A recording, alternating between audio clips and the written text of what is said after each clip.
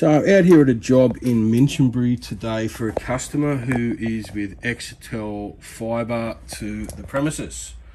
Now they had um, another service on here uh, up until recently and then NBN had came and installed uh, fibre because they did the upgrade package.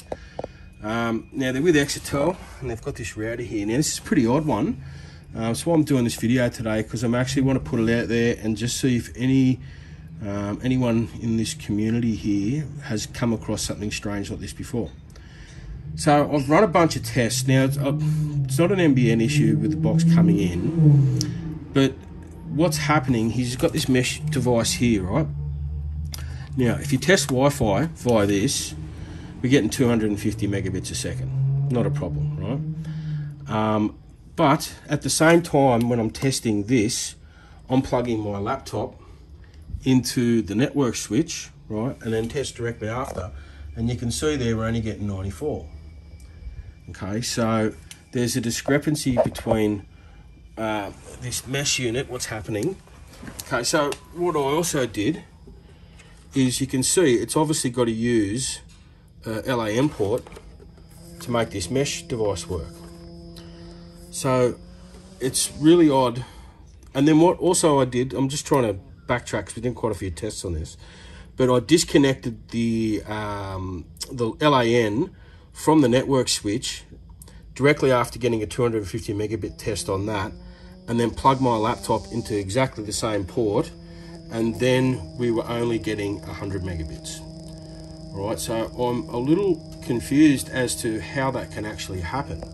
Now, one um, thing that needs to be noted that another time is these other device is just in the the room just behind me. Um, and I went out to do a test on that one and then it was only getting 60 which it's only like 15 steps away from this one here and it's it's all open. It's not like there's any doors or brick walls. Then I came back into here did another test on this one and then this one then was only getting like 60 or something. So I am basically putting it down to there could be potentially a problem with this actual router itself, the network ports. Because if I do a, also too, if I do a Wi-Fi speed test on this, this is only getting 94.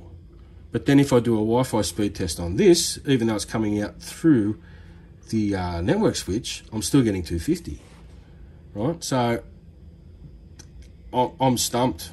It's a really bizarre one. So I was going to show you some speed tests and hook it all up, but to do it all again, it would take ages. I've only got the one phone, so I can't uh, actually show you what's going on here. But this video is just going to be helpful for a customer um, because he's going to need to try and explain this to the ISP. So, anything else we need to add to the video? Don't think so. Don't think so? All right, well, uh, yep, that's it. All right, ciao.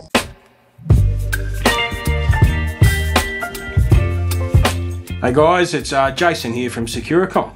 So if you're in need of some internet help, um, whether that is uh, getting a fault fixed up like a bridge tap or you have some sort of an issue on your NBN service, or maybe you need to have some new cabling and sockets installed, um, we provide a range of services to help you out. There'll be some links underneath this video um, and you can click on those links and I'll take you through to our website where you can book my service.